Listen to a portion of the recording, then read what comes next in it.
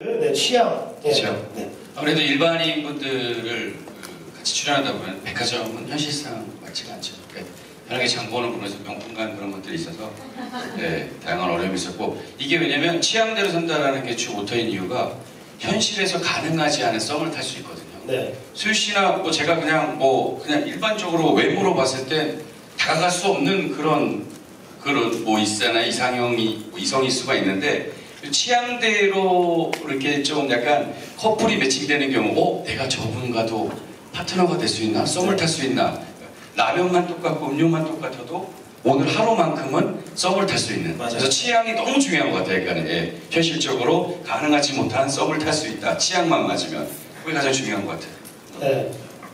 취향 같은 걸 물어보셨는데 예를 들어 친구랑 정말 친한 친구랑 여행을 간다고 하거나 맛있는 음식을 먹으러 가도 저는 매운 게 좋은데 친구가 매운 걸 먹지 못했을 때 뭐 같이 밥 한 끼 하기가 조금 부담스러울 수 있잖아요. 아, 난 오늘 정말 매운 게 먹고 싶은데 친구는 아, 난 오늘 매운 게 먹고 싶지 않아.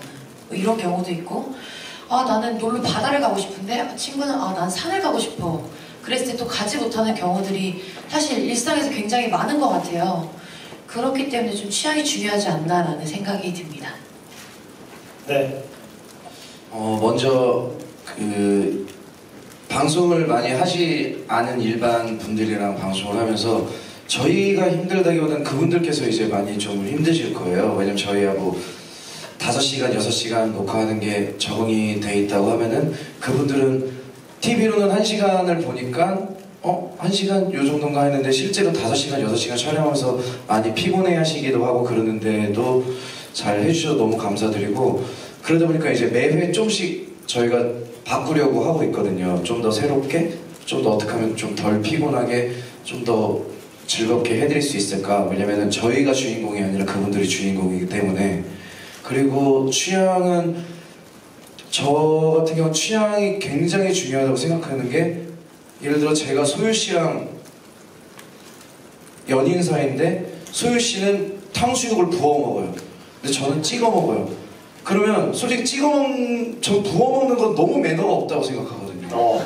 왜냐면은 찍어 먹는 사람은 이 너무 달짝지근한 게 별로라서 살짝만 찍어 먹는 건데 그 부어 먹는 사람은 그냥 탕수육 담궈서 먹으면 부어 먹는 게그 부어버리는 거는 저 굉장히 매너 없는 행동이라고 네. 부어 먹는 행위는 매너가 없다 아 저는 무조건 왜냐 이게 찍어 이제 교양 있게 이렇게 찍어서 매너 있게 먹어야지 이걸 네. 그냥 상대방 의사도 안 물어보고 그냥 다 부어버리는 거는 정말 저는 그 너무도 경우에 없는 행동이라고 저는 생각합니다. 띵동 씨는 찍어 드세요, 부어 드세요. 아, 저는 뭐 찍어 부먹이면 저는 그냥 쳐먹습니다. 그렇죠. 네, 요즘에 소스는 쳐서 네. 먹어야죠. 네. 예전에는 앞접시가 많지 않았거든요. 네, 맞아요. 그래서 대부분 부었거든요. 부어 드세요? 예전에는 그랬죠. 아 이러면 제가 수근이 형을 아까 굉장히 존경하고 좋아하지만 같이 탕수육은 못 먹을 것 같아요. 네. 자, 개인적 얘기는 나중에 두 분이서 함께 하시길 바라겠습니다. 자, 어, 이게 또이 취향에 대해서 이야기를 하니까, 어, 이두 분만 얘기만 들어도 진짜 저희가 모르는 취향들이 많이 있네요, 진짜. 네. 자, 우리 기자님들 또 손을 들으시면은, 네, 마이크를 드리고요. 네, 이야기를 계속 나눠보도록 하겠습니다. 네, 안녕하세요. 전 뉴스원 김민지라고 하고요. 네. 일단 이 예능에 일반인 분들이 나오시는 것 같은데 뭐 매회 일반인 분들이 바뀌시는 건지 아니면 그분들이 계속 가는 건지가 일단 궁금하고 만약에 그분들이 매회 바뀌는 거라면 어쨌든 일반인 썸 예능은 그분들을 지속적으로 좀 노출시켜서 좀 시청자들한테 익숙하게 해서 좀 그렇게 매력을 이끌어내는데 썸바이벌은 그분들 매력을 좀 어떻게 이끌어내실지 궁금하고 또 일반인 분들 섭외 기준 혹시 연예인 지망생들도 있는지 그것도 궁금하고요. 그리고 하이라이트 영상 보니까 좀 연애 편지 떠오르게 하는 게임들이 좀 있더라고요. 그런 좀 기시감이 있는데 그거랑 좀 차별화된 구성 좀 구체적으로 설명해 주셨으면 합니다. 네. 자, 어, 먼저, 네, 매회 일반인이 바뀌는지 요것만 먼저 우리 PD님께서 말씀해 주시기 바라겠습니다. 일반 섭외에 대해서도요. 네, 저희는 매회 일반인 매, 1, 2회 때는 남자 10명, 여자 10명 이렇게 총 20명이 나왔었고요. 저희가 사실 지금 세 번 녹화를 했는데 세 번째 녹화부터는 절반으로 줄여서 남자 5명, 여자 5명 이렇게 하고 있습니다. 그리고 처, 아직 방송 나가기 전이라서 처음에는 뭐 이렇게 저희가 무슨 대학생들 동아리방이나 뭐, 뭐 어떤 그 지인들 통해서나 이렇게 소개를 받기도 했고 뭐 블로그 같은데 예, 네. 블로그 같은데 올려서 신청을 많이 받았습니다. 그리고 1위 방송이 나간 다음부터는 저희 시청자 게시판을 통해서 어, 신청 접수를 받을 예정입니다.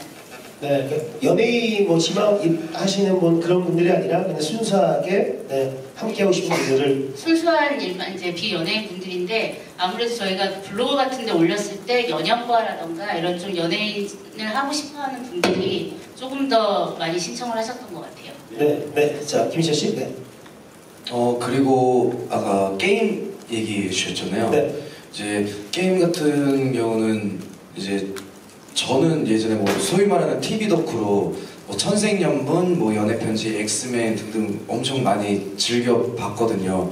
그러면서 이제 하는 게 좀 옛날 게임들, 예전 게임들도 한번 넣어보고 싶다 이런.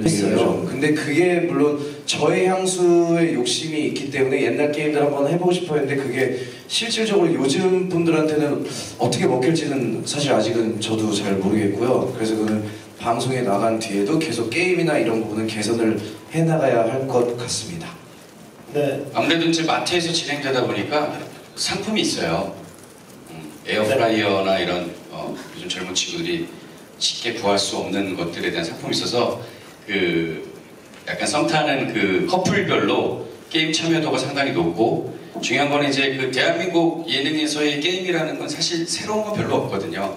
누가 어떻게 하냐가 되게 중요한데 저희가 아주 재밌게 했다라는 말씀 되게 드리고 싶고요. 예, 그리고 아까 스펙 같은 거 물어보셨는데 저희가 굳이 물어보지 않거든요. 근데 네. 본인들이 자기소개 타임에서 다 말씀하세요. 어, 그냥 명문대 나오신 명문대 나오셨다 뭐 어디 나왔다 지금 피아노를 잘 친다 자기는 뭐 비보이를 13년 했다 이런 장기도 뭐 촬영 중간중간 소개할 때 다 이렇게 말씀을 하시다 보니까 네, 특별히 우리가 알려주지 않아도 서로가 다 이렇게 좀 어, 스펙도 알 수 있고 하는 자연스럽게 좀 그 만남을 가질 수 있는 그런 자리인 것 같아요. 네. 그리고 약간 느낌이 다른 게 제가 이분이 좋아서 이분과 짝이 될 수 있는 게 아니라 정말 예를 들어 뭐 음료수 서로 좋아하는 거 하나 둘셋 고르거나 아니면 뭐 라면을 고르거나 네. 뭐 치킨을 고르거나 이런 식으로 해서 짝이 되기 때문에 제가 다른 사람이 마음에 들어도 취향이 다르면은 그 전제 조건을 갖추지 못하면 짝이 될 수 없습니다. 어, 아직은. 어, 어, 재밌네요, 진짜. 좀 미리 스포긴 한데요. 네. 취향대로 맞히다 보니까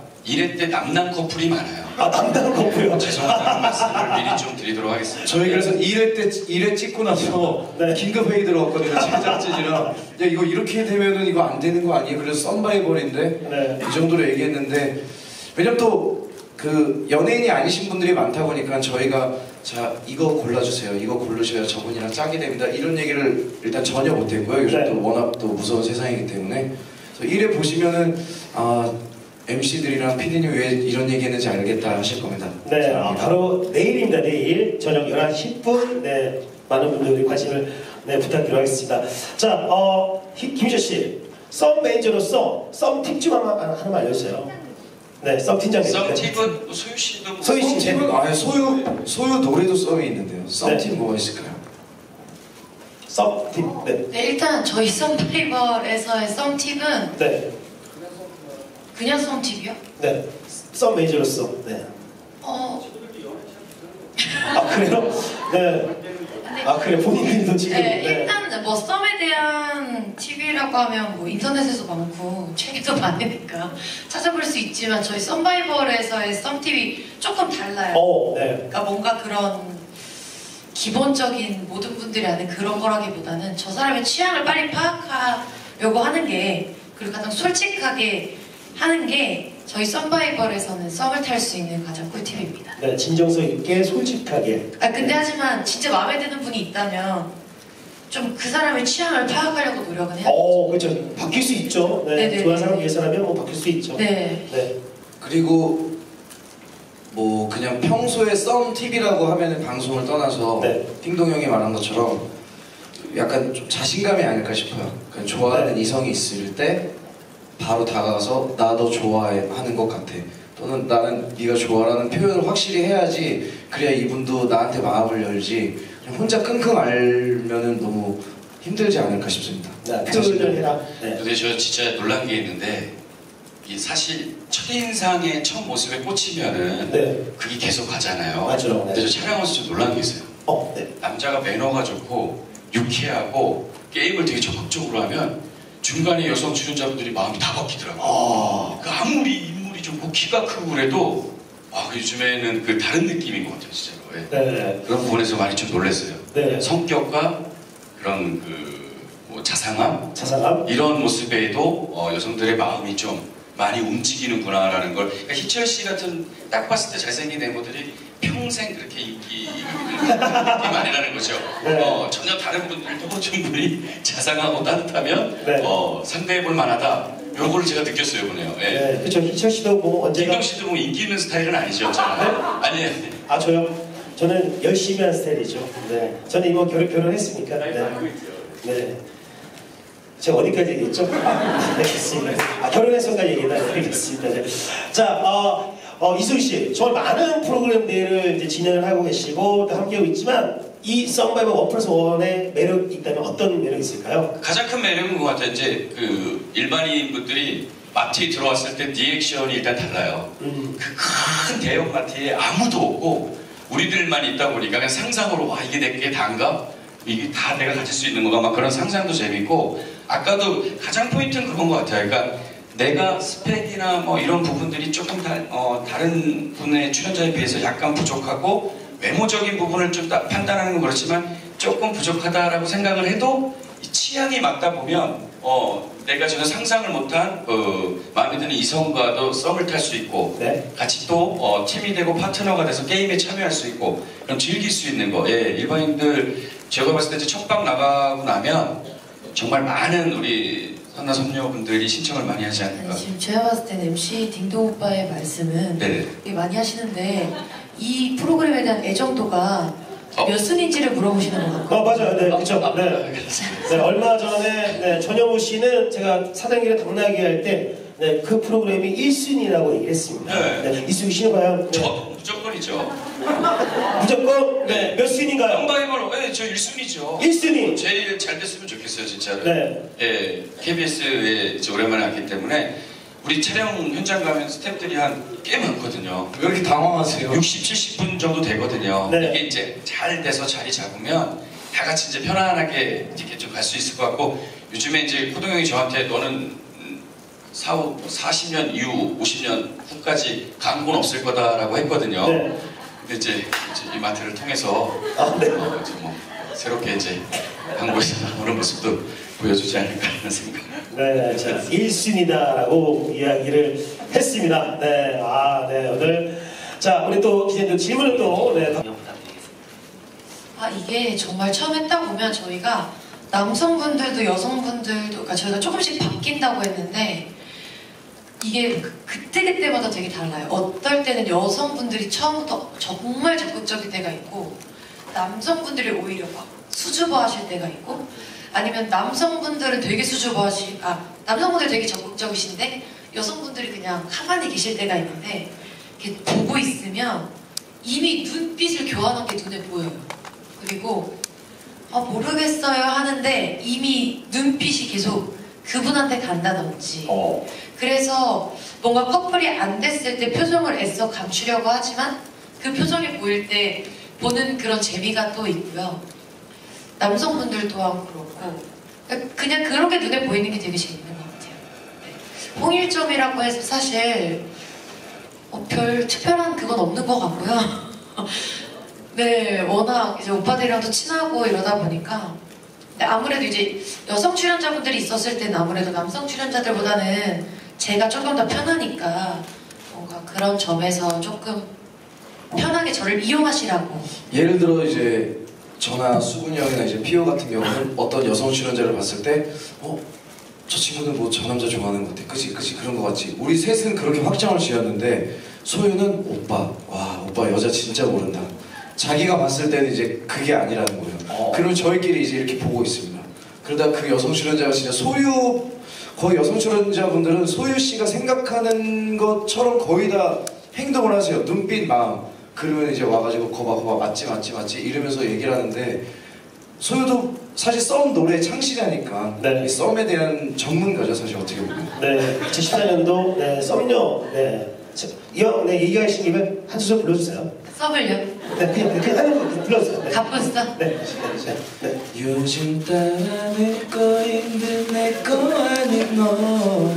니가 갑자기 니꺼 힘든 니꺼 아닌 니꺼 같은 날 네. 네, 네, 감사합니다. 네. 네, 네, 어, 그 아침 목소리가 나온다고. 네. 자, 자, 이제 또 질문을 네, 계속 받도록 하겠습니다. 우리 기자님, 네, 먼저 손 드시는 우리 기자님께 드리고요. 잠시 후에 우리 대인 기자님께 마이크를 드리겠습니다. 네, 안녕하세요. 한국일보 EMB 홍혜미 기자라고 합니다. 저 일단 피디님한테 먼저 질문 드릴게요. 저 아까 마지막 최종 커플은 상금을 맞습니다. 어, 그냥 항상 피오라는 존재는 두리뭉실하게 어디다 넣어놔도 잘 흡수되고 그러니까 분위기 메이커예요. 웃는 모습이 너무 예쁘고 네. 그러니까 피오의 가장 큰 장점은 특별히 막 노래하려고 막 이렇게 나서려고 막 그 오버 액션을 하지 않고 차분하면서 한마디씩 하는 게 되게 재미있거든요. 예. 워낙 그, 그 뭐 다른 top 프로그램에서 워낙 관심을 받아, 많이 받았던 또 터라 기대치도 되게 많을 텐데요. 네. 예, 뭐 아까도 말씀드렸지만 피디님께서 게스트로 왔다가 바로 MC로 섭외할 정도의 매력이 있는 친구입니다. 그래서 오늘 진짜 없는데 어, 앞으로 지켜봐줘도 예, 정말 뭐 우리 썸바이벌에서 꼭 중요한 그 썸 매니저로서도 예, 재미있게 활약할 거라고 믿고 있습니다. 예. 피오의 가장 큰 장점은 호감이라는 호감, 것 같아요. 진짜 호감. 네.